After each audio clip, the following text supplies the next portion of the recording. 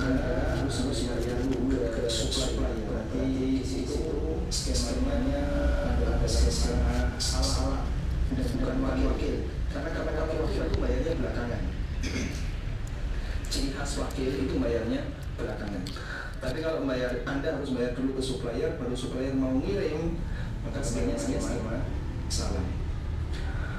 Oleh karena itu ketika konsumen anda transfer ke tempat anda secara tunai ya, barang kemudian anda transfer ke supplier lalu supplier mengirim ke konsumen anda ini berarti akarnya adalah akad salam hal dan ada dua pendapat ulama sebagaimana yang tadi kita sampaikan.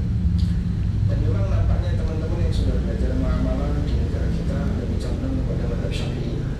Karena itu yang sesuai dengan praktek sehari-hari yang mereka lakukan.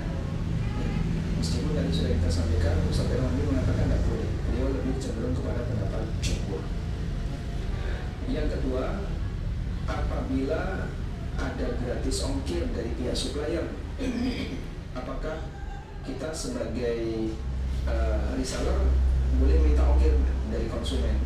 Yang saya tahu tidak boleh karena pengiriman ini pengiriman ini bukan anda yang melayani itu kurir ya ada jasa kurir ya sudah sehingga anda kan tidak menjual jasa pengiriman tapi anda menjual barang. Oleh karena itu jika memang ongkirnya gratis berarti anda jangan minta bayaran. Posisi pengiriman itu anda diminta oleh pemilik barang tolong kirimkan. Nanti saya ganti.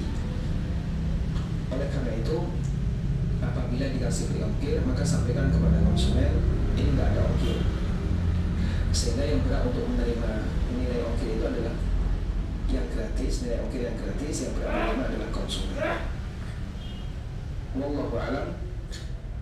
Baik semoga bisa dipahami dengan baik. Barangkali kalau masih ada beberapa hal yang mungkin kurang jelas Insya Allah materi ini akan kita sambung di pertemuan berikutnya fokus berkaitan dengan masalah dropshipping setelah kita paham tentang salam nanti kita akan beralih fokus tentang masalah dropshipping karena tadi dropshipping kita hanya sampaikan sekilas berkaitan dengan masalah eh, apa pengantarnya.